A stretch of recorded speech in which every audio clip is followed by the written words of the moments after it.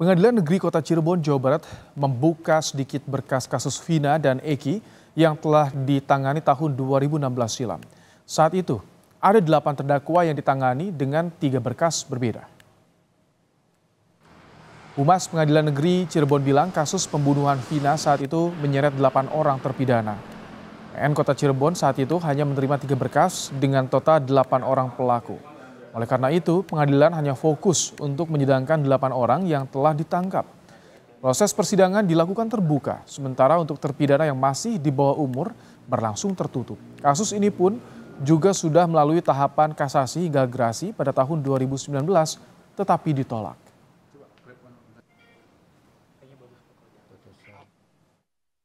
Mengenai putusan yang Vina dan Eki ya. Yeah. Nah itu ada tiga berkas. Mereka semua sudah mengajukan mereka ada mengajukan kasasi yaitu upaya hukum sampai ke gerasi tahun 2019. Hasilnya?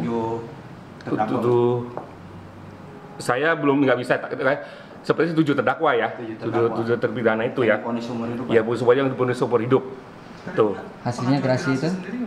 Gerasi ditolak. Menanggapi pengakuan mantan terpidana kasus pembunuhan Vina yang telah bebas, Saka Tatal yang bilang dipaksa mengaku oleh polisi saat penyelidikan kasus Vina, anggota Komponas Yusuf Warsi menyatakan telah berkoordinasi dengan Polda Jawa Barat. Dalam waktu dekat, Polda Jabar akan memberi tanggapan soal ini.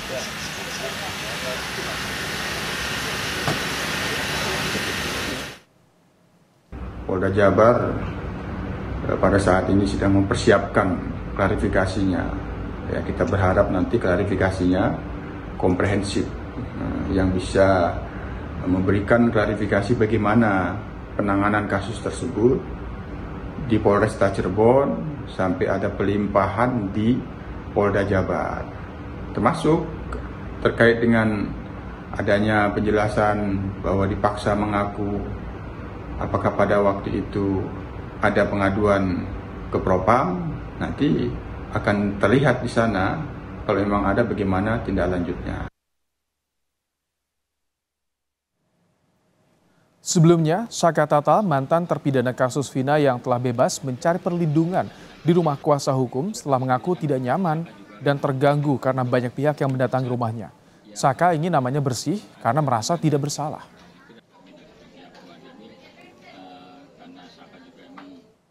Bahwasanya saya tidak melakukan apa yang dituduhkan. Saya kepengennya itu normal biasa kayak dulu lagi. Bahwa saya sebenarnya tidak bersalah sama sekali.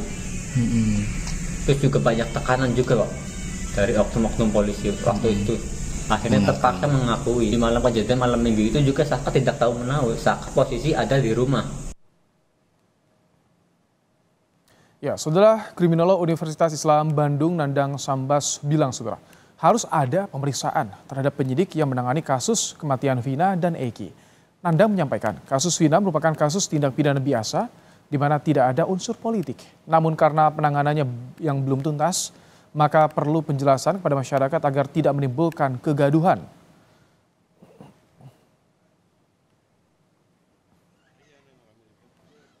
itu eh, ada yang tiga orang yang menurut juga pengakuan para saksi. Nah ini harus diungkap. Saya pernah mengatakan coba periksa penyidik yang awal menangani ini.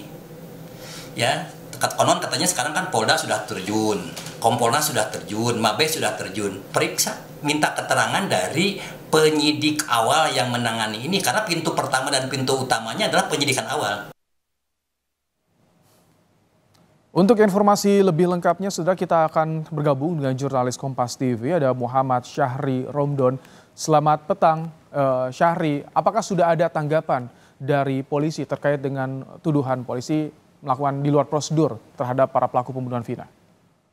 Ya, baik di studio dan selamat sore, Dara. Secara resmi dari pihak kepolisian sangat dinanti oleh kami dan juga oleh utamanya karena sejak awal kembali ini dan menjadi banyak perhatian banyak pihak, banyak nanti bagaimana tanggal resmi dari pihak kepolisian. Kami sebagai yang bertugas di telah berupaya untuk melakukan informasi tersebut sejak beberapa hari lalu, bahkan di hari itu pada saat terjadinya maaf, pada ada informasi beberapa Polda Jawa Barat yang datang ke Cirebon untuk melakukan uh, pendalaman terhadap tiga orang O yang diburu oleh petugas kepolisian. Kemudian di hari Kamis juga juga meminta konfirmasi kepada pembusuran namun mendapatkan beban yang sangat singkat yakni uh, diinformasikan setelah ditangkap nantinya. Pada saat kami menanyakan hal yang kedua yakni bagaimana tanggapan Polda Jawa Barat terkait banyaknya atau sebagian uh, para kuasa hukum terpidana ini menemukan kembali pernyataan tertangkap yang dilakukan oleh penyidik pada saat itu, namun Kombes Surawan tidak memberikan tanggapannya tersebut. Dan hari ini kami bertemu dengan Kapolres Cirebon Kota AKBP Hadianto menyampaikan secara jelas dan gamblang bahwa Kak ini ditangani oleh Polda Jawa Barat sehingga Polres Cirebon Kota tidak kewenangan sedikit pun untuk memberikan penjelasan apa pun baik dari awal maupun pada tahapan yang saat ini sedang didalami oleh gas kepolisian Polda Jawa Barat. Dan memang seperti yang kita ketahui secara uh, running terus pemberitaan ini, banyak sekali pihak yang akhirnya uh, mempertanyakan bagaimana sebetulnya saat awal kejadian tersebut. Apakah memang yang terus diceritakan uh, bahwa memang ini adalah terjadi melibatkan TKP tepat di belakang saya di jembatan layang ataukah memang ternyata kejadian merupakan kecelakaan lalu lintas seperti disampaikan kuasa hukum dari beberapa partai ini. Kami terus masih menunggu penjelasan dan perkembangan terbarunya dari kepolisian. Rahmat Ibrahim. Baik, terima kasih Muhammad Syahri Romdon untuk laporan Anda langsung dari Cirebon, Jawa Barat.